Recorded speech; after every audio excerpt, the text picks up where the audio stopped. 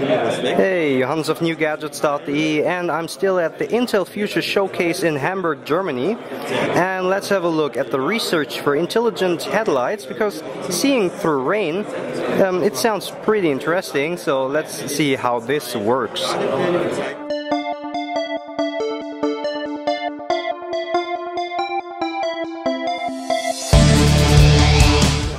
Name is John Tompkins. I'm with Intel Labs. Um, today we're showing our Seeing Through Rain project. This is a research project that is being done with a relationship with Intel Labs and Carnegie Mellon University.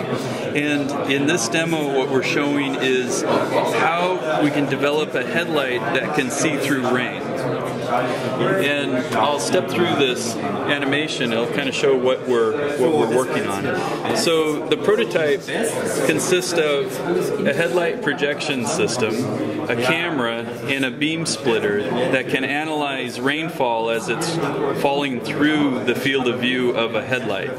So today you have a headlight that illuminates everything. You have 100% illumination and you see 100% of the rainfall. What we're working on is a system that would allow the system to analyze that rainfall as it's going through the field of view of the headlight. And with processor uh, algorithm, we're able to predict those future locations of where the rain is going to be falling through that path and then share that information with the projection system so that black spots where we're actually taking away the light in specific locations where the rain is predicted to fall. And when we turn the system on, what it'll do is as that rain falls through the, the beam, it's able to be analyzed, and then when the system begins to black out those specific light areas that would hit the rain otherwise, you can actually see better through the rain.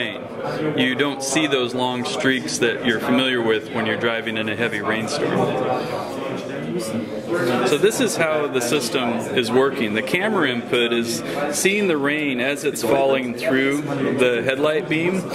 The computer prediction is actually trying its best to create and predict that location. So the green you're seeing are areas of the raindrop that we've successfully not illuminated.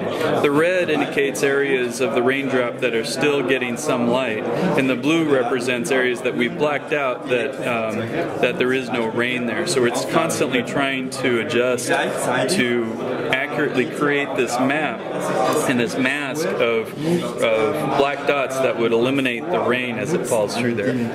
In this uh, video, you're seeing the system where you, you have 100% illumination here, so you see those long streaks, and then with the system turned on, you can still see the bookshelf behind, but that as we analyze where that rainfall is, is coming, it'll calculate that and begin to turn off those light sources that would otherwise hit the raindrops. Ich verstehe auch nicht, worum es keine ist. Ich hoffe, es ist gleich eine.